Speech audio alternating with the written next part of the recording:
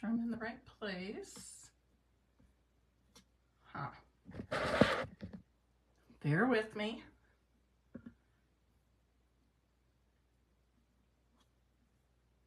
Okay, there we go.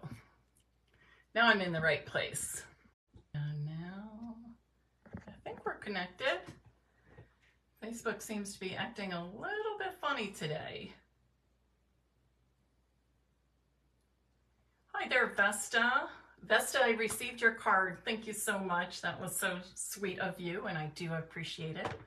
I enjoy getting fun mail, happy mail, as much as the next person, so thank you. Hi, Carol Beth. Okay, um, in Mondays, well, I should say welcome. I am Mary Knabe, and I'm live today in my Stampin' Peace studio. It is Thursday, November 2nd. So happy November. Um, do you have your Christmas decorations out yet?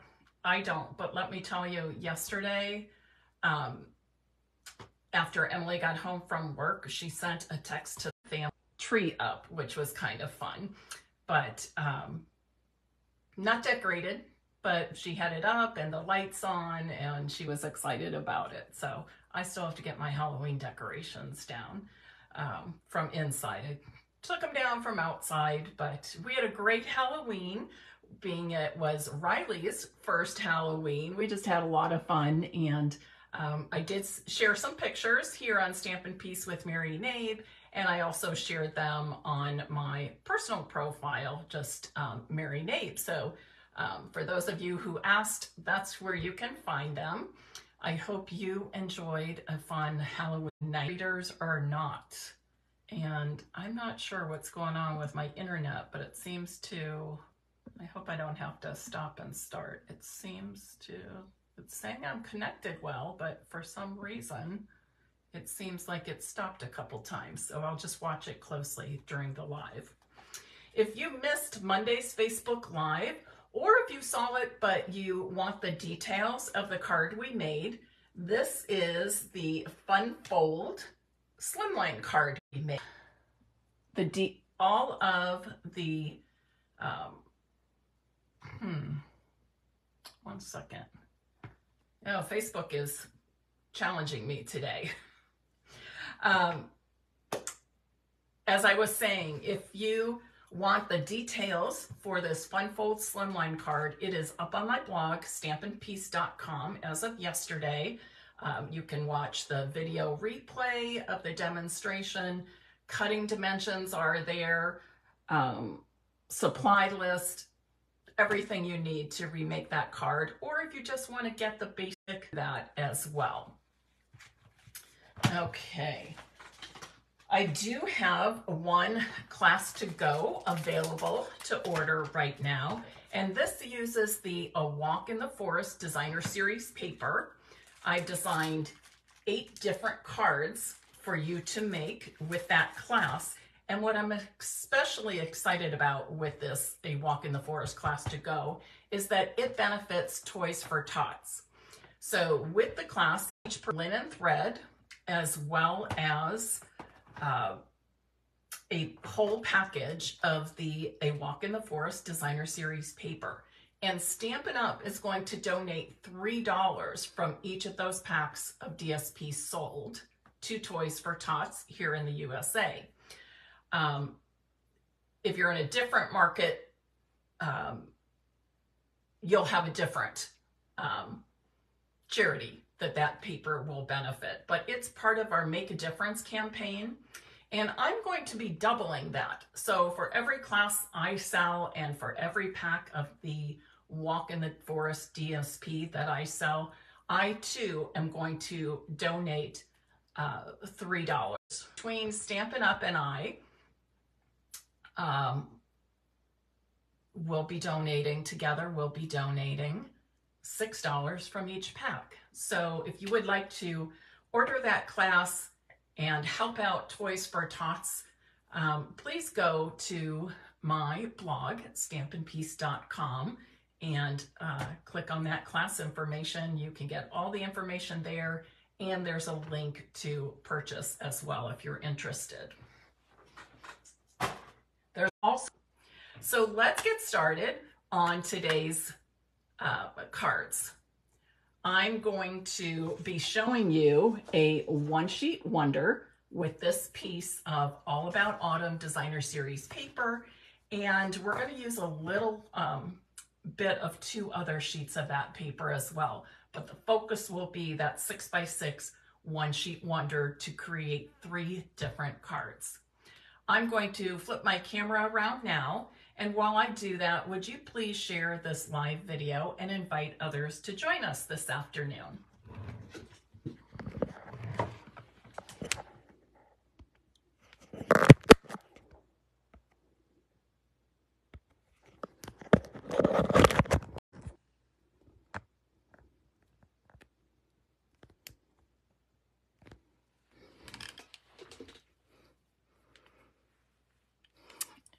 Okay. I apologize if the camera's off just a little bit. I um, did a quick FaceTime with one of my team members just a little bit ago. And um, what I was trying to help her with, it was easier to demonstrate through a FaceTime. So, and I had to bring the camera um, low to show her what I wanted to show her. So thank you for bearing with me. Some days you know, the technology part is just. And for some reason, it keeps saying that Facebook or the internet keeps saying there's a little glitch or something. So we're just going to do the very best we can. Shireen, thanks for watching all the way from South Africa. I'm so glad you're here, along with all the other people watching. The first thing I'm going to do with this piece of designer series paper is cut off. And if it is, if you're using a paper that's directional, um, have your time, know what you're okay before you start cutting. For me, I'm using the geometric side, so it really doesn't matter all that much. But do save this three, uh, um, three quarter inch strip because we will be using that for our third card. Then I'm going to turn this back into the horizontal position. So now I have five and a quarter inches top to bottom and six inches across. And I'm going to cut at the four inch mark. And it's as simple as that. So let me grab the pieces for my first card. We're going to love this. I promise, I guarantee. So my card base is, okay, why is my camera so off today? Um, my card base is five and a half by eight and a half inches. I scored it four and a quarter down the center on the long side. I have a piece of, and this is going to be a horizontal card for this first one. I have a piece of very vanilla cardstock. You know, I'm not going to put the stamping first. And for this, you'll want some scrap paper. I'm using the large maple leaf, and I'm going to stamp off on this at least twice, maybe even three times till I get a very light shade of this copper clay color. Yes, that's what I want. Very, very light. Oops, I got lots of dots there. I held it too long. Let me try again. One, two. I'm just going to just kind of give it a simple press, not push so hard. Oh, much better. See the difference when I was pressing hard? I was getting ink that was left um, in those tiny little dots in the negative space. And I, eh, it just didn't look as nice. Here, I just gave it a gentle press with a flat hand, flat fingers, instead of pushing hard, and what a difference it makes. Then I'm going to add a sentiment. And this you could stamp in the same color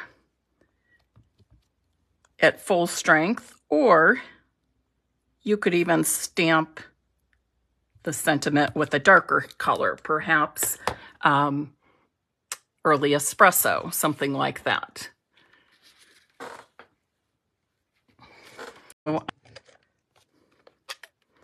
The inside of my card base. And as usual, this measures five and a quarter by four inches for our inside. So here I have um, just a nice simple greeting on the inside with a little bit of a decorative touch with that maple leaf. Next, I'm going to take my five and a quarter by four inch piece of designer series paper that I cut from that six by six one sheet wonder and adhere this early espresso card base. Now I've pulled in another uh, designer series paper from the All About Autumn set. And this measures, let me double check. Yes, four and a quarter by three inches. Four and a quarter by three inches. Hi there, Carol. And I'm going to um, mat it on a piece of early espresso that measures four and three eighths by three and one eighth but I'm not going to mat those just yet. I'm just going to use the tiniest bit of adhesive to hold these two pieces of paper together. And I do want to have a nice even border all the way around. And then I'm going to do a little die cutting for you. I love that all of the dies for the Autumn Leaves bundle fit into the mini Stampin' Cut and Emboss machine. Just because I have my mini um, actually to the right, but on the occasion that I'm using dies that are too large for the mini machine, um, it's just a few feet away. My big machine is just a few feet away. But I like being able to use my mini machine for demonstrations because it doesn't take up quite so much space for you and it's easier to see.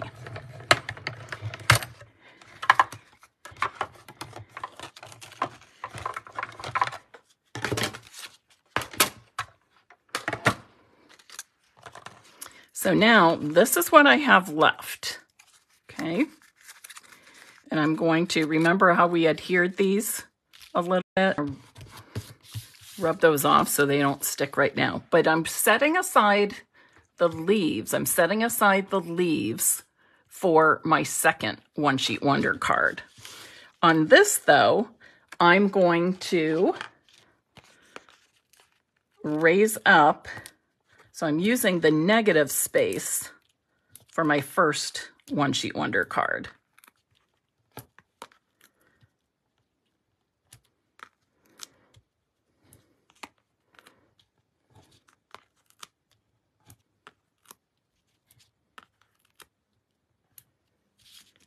Okay. You can use the regular size Stampin' Dimensionals if that's what you have. Either size will work.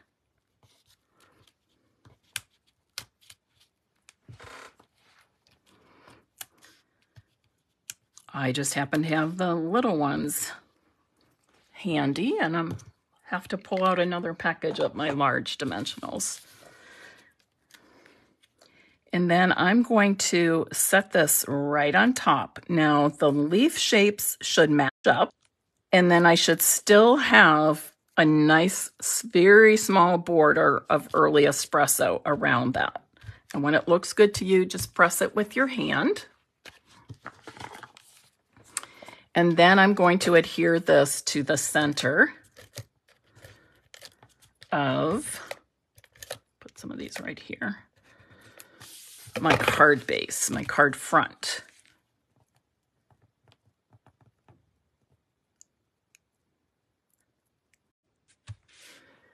I'm going to add some embellishments and a little bow.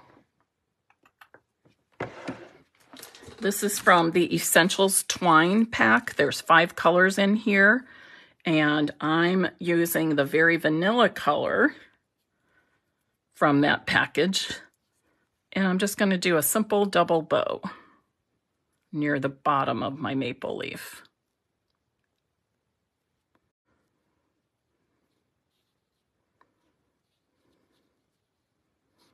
So that package of Essentials Twine um, has five different colors of neutrals, okay? Five neutral colors of twine. And the knot of this bow is a pretty good size. So I'm going to put a mini glue dot behind the knot. And then I've got, now these tails are a little bit long, but that's okay because it'll, I think it'll look nice even when they pull it out of, whoever gets it pulls that uh, out of the envelope. But I am going to trim them just a wee bit. They seem a little excessive. But really it's your, your own taste. I just didn't want the bow itself to be too small. I think I like that just as it is.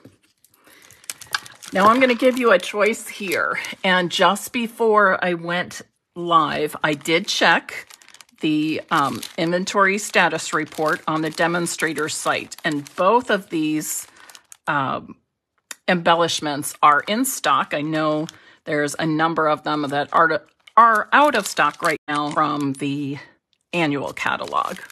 The first is the 2023-2025 in color dots and the other is the brushed metallic adhesive back dots. So I'm going to give one of you a choice. Who um, has a preference? And it could be the copper clay, it can be the wild wheat color. And on this one, I would either use the gold or um, more of the, I don't know what you would call that. Metallic look brush metallic look. Anybody, which one? The dots? They're both dots. Oh, Kathy says the wild wheat. Okay, Kathy. You were pretty quick on the fingers there, so I'm going to go with yours. And I'm going to do, think. And this is the five in colors. You can see I've used um, the Moody Mauve and lots of the Pebbled Path dots. But I'm using, each of them has three sizes, large, medium, and small. So for this one, I'm using one medium and two smalls. I think that looks really pretty. Good choice, good choice. But like I said, any of those would work well. All right, now for our second card, We'll be giving away the three cards today. Hey there, Andrea. I, or Andrea. I have an Andrea spelled the same way, but this is Andrea. So I have to remember to say it correctly. But I recently met Andrea at a craft retreat I was in last week up in Oak Harbor, Ohio, near Lake Erie. So that second piece of DSP that I cut from my six by six one sheet wonder is two inches by five and a quarter. Put all the information and the replay video on my blog in the next day or two. I will have templates for you for the one sheet wonder and the cards. Okay, so I'm just adhering that so it has an even border of very vanilla cardstock around the top, bottom, and left side.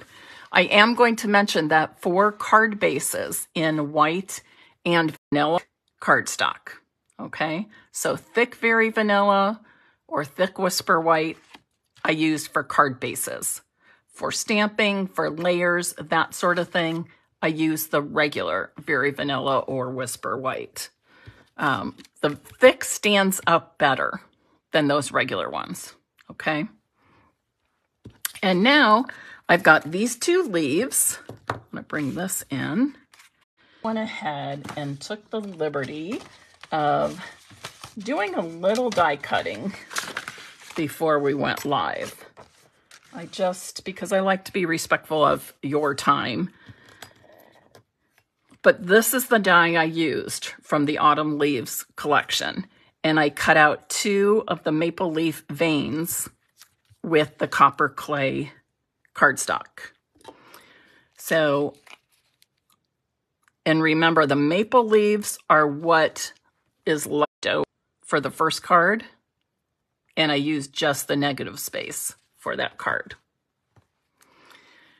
So I'm going to use my multi-purpose glue very, very, very sparingly. I mean, I'm hardly dotting it at all. I'm just kind of push a little bit out and kind of drag it along. And you do not need the adhesive on every single one of these branches. Just kind of space out that adhesive.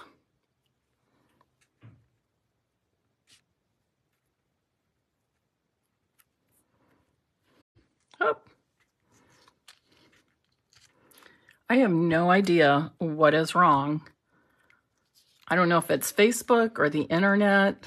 I've checked my phone and my computer. They both say they're connected to the internet well. I don't know if it's Spectra's working in the area, but I'm sorry if it's kind of glitchy on your end, going on and off. And, or if it's just my end.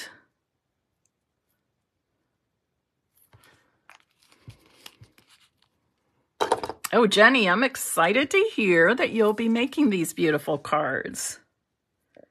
Look at the difference this simple layer of the leaf dies. Okay, Carol, thank you. Sometimes we just have to, um, yeah, everybody's is freezing on and off. I have no idea why. And it's always hard too. If you don't Sometimes it's a Facebook glitch, sometimes it's an internet thing. I'm just glad we haven't gone out completely, and I'm hoping I may.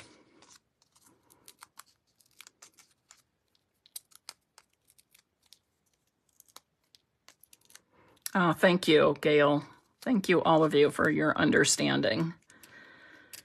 Because when you're doing a demonstration, or I'm doing a demonstration, it can be very frustrating to have that happening. So on these leaves, I'm just popping them up with a few dimensionals like that. Okay.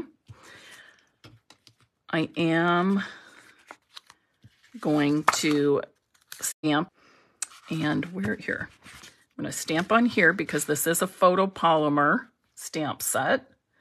And in my copper clay color, I'm going to stamp I'm Thankful.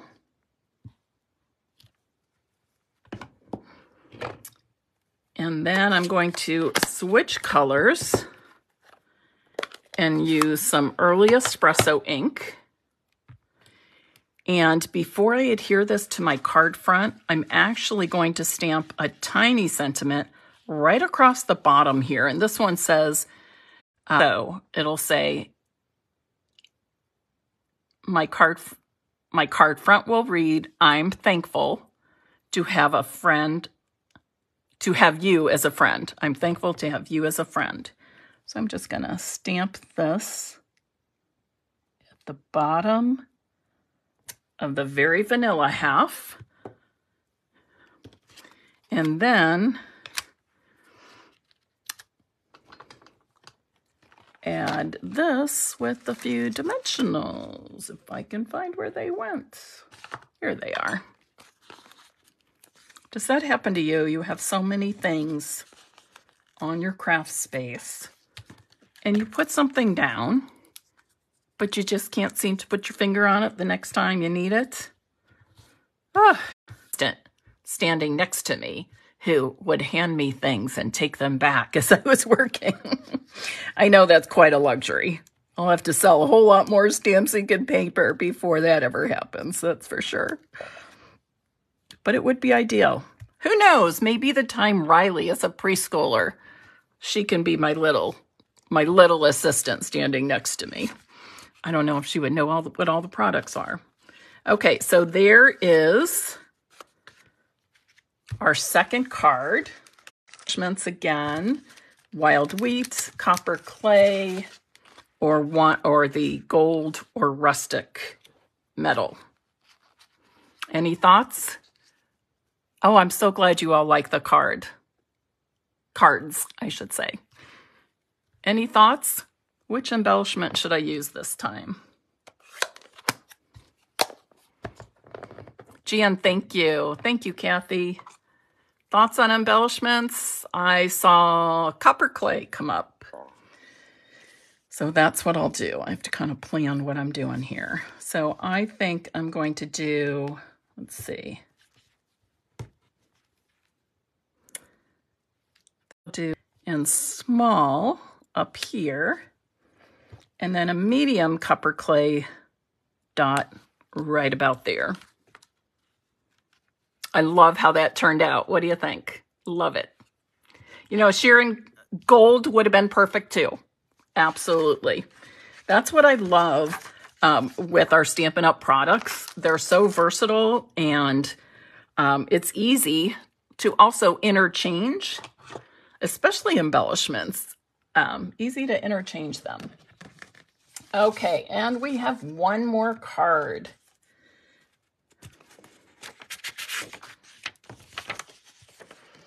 Now, piece of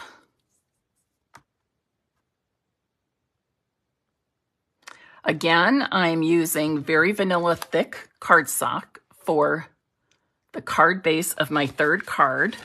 I've scored it at four and a quarter on the long side. But before I fold it, I'm also going to score this one at three and a quarter.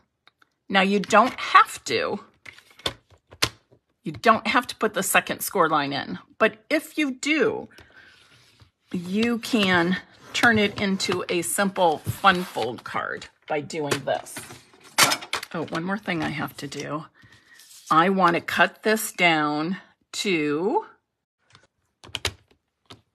okay, so out of that six by six piece of cardstock that I started with, this is all I have left, this tiny little thing, which you might even put on the inside of a card. You, I don't know. Maybe you save those little pieces to do something abstract with. So I folded it in half and then I'm going to fold on the other score line and give that a really good crease as well.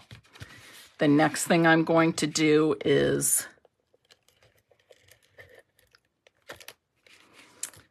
adhere that one inch strip of vanilla to the back side of the card base. Okay, so this now is my fun fold card. The design, if you're not into fun folds, the design of this card is perfectly fine on a standard card front. But if you are into fun folds, especially easy fun folds, I prefer the easy fun folds that I can um, make a lot of rather than ones that get real complicated. Now I have a coordinating piece of designer series paper. And this is from a second piece. This is not part of my one sheet wonder. Okay. This is a second piece of DSP I pulled. It's not part of the one sheet wonder. It just so happens to be the reverse side of this um, sheet I used for that six by six one sheet wonder. And I'm going to cut it down to five and a quarter inches. So this measures three inches by five and a quarter. And I'm going to adhere this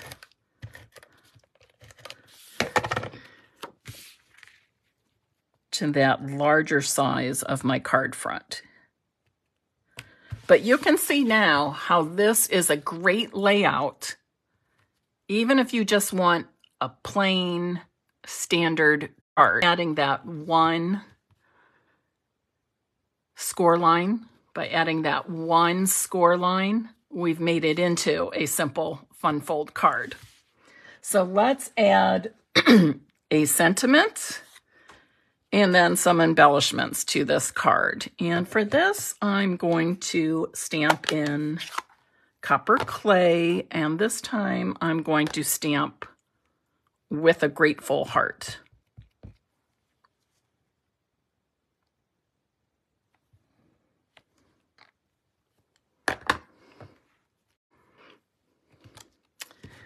I'm going to add this with dimensionals.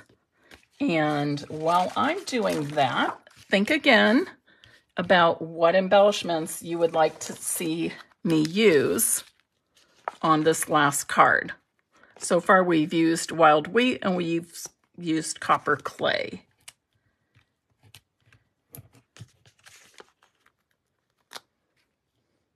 Jenny, thanks for um, giving the, to me, that is a must have in the craft room. It is a place for all the icky, sticky adhesive to go instead of on your craft surfaces. Um, and it's super easy to clean off. Okay, I saw gold pop up first. Gail much more. Okay.